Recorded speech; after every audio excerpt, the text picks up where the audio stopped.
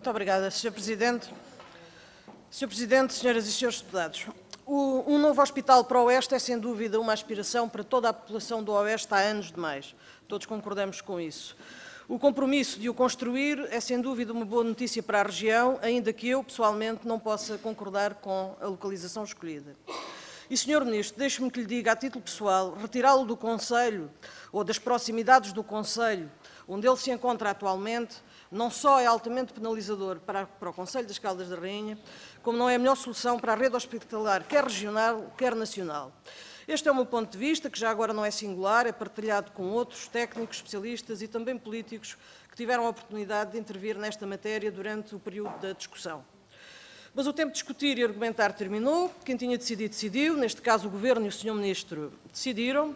E agora é o momento de passar à materialização. Por isso, aguardamos conhecer todos os detalhes da decisão, não só da localização e da sua fundamentação, mas também do perfil assistencial, da diferenciação que a nova estrutura vai ter, da sua dimensão, do modelo financeiro e do cronograma de execução deste importante investimento.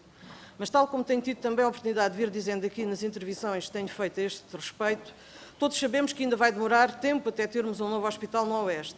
E por isso é importante saber, por um lado, se os investimentos que são necessários realizar nas estruturas existentes continuarão a ser feitos para que a resposta à população que serve continue a ser dada e garantida.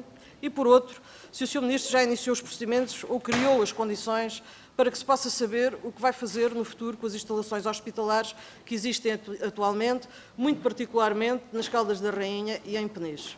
Por outro lado, ainda, e passando a um outro tema, o Distrito de Leiria, com particular gravidade em alguns conselhos, como são o caso de Porto Mós, Marinha Grande, mas também nos conselhos que integram o Oeste-Norte, com particular destaque para Alcobaça, Caldas da Rainha, Peniche, Bombarral, debatem-se neste momento com enormes dificuldades no acesso a cuidados de saúde primários.